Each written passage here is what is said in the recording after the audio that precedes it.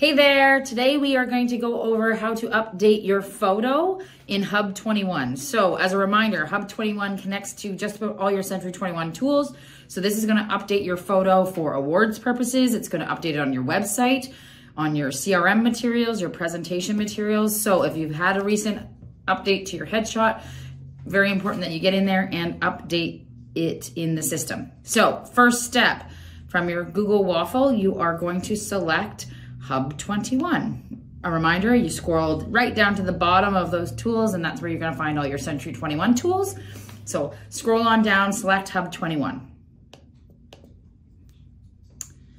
Once in Hub 21, you're gonna go directly on over to the right-hand side. There's a little drop-down box beside your picture, if you have a picture. Otherwise, I think it's a Century 21 seal. And you're gonna select My Account.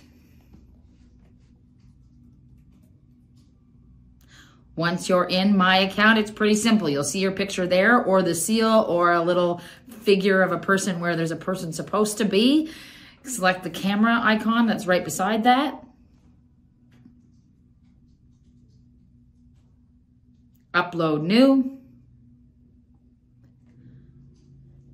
Then you are going to find that file by clicking File on your computer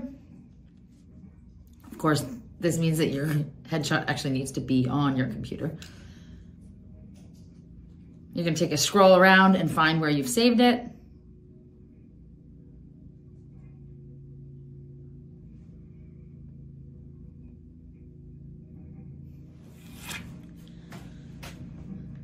Then you're gonna select that, hit upload,